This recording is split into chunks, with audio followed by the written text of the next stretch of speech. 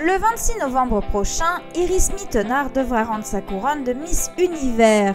La reine de beauté verra ainsi son conte de fées prendre fin. Mais si une page se tourne, une nouvelle commence. Auprès de Kev Adams, il se murmure que la jolie Miss et le comédien sont en couple. Une rumeur sur laquelle les deux principaux intéressés ne se sont jamais exprimés. Mais s'ils n'ont pas encore officialisé leur idylle, ils ne semblent pas pour autant vouloir se cacher. Ainsi, de passage à Los Angeles ce week-end, Iris Mittenard a pris la pause sur les hauteurs de Hollywood.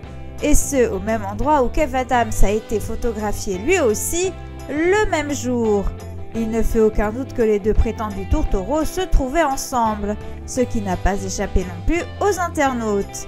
Forcé de constater que les deux amoureux ne se quittent plus. Pourtant, ils préfèrent pour le moment jouer la carte de la discrétion.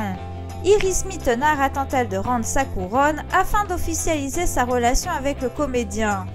Reste à savoir maintenant si leur histoire d'amour survivra à leur emploi du temps chargé. Entre ses études, la télévision et le mannequinat, Iris Mittenard croule sous les projets. Pourra-t-elle consacrer du temps au comédien qui lui sera en tournage? Affaire à suivre.